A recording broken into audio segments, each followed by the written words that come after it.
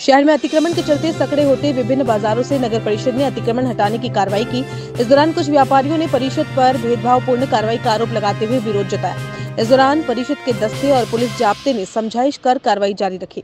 नगर परिषद आयुक्त दुर्गा कुमारी की अगुवाई में अतिक्रमण निरोधक दस्ते ने रेलवे स्टेशन चौराहा से कार्रवाई शुरू की।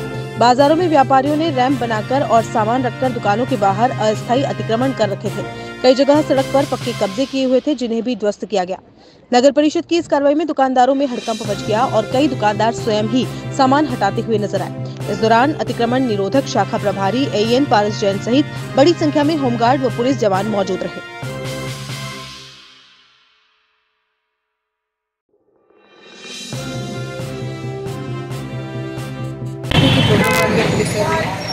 उसको करने के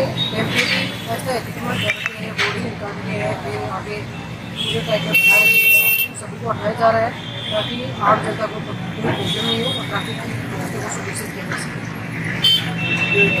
लगातार जारी रहेगा हाँ? ये अभियान लगातार जारी मैडम जैसे आपने इन सब दुकानदारों को वार्न किया है इन्होंने जो बाहर अतिक्रमण कर रखा है अब आप जैसे चले जाओगे ये वापस लगा लेंगे तो उसका क्या रहेगा? नहीं ये नहीं लगानी लगानी तो उसको पेनल्टी लगाएँगे और उसको हटा दिया पेनल्टी से हटा दिया बड़े शहरों में दी है। उसके बाद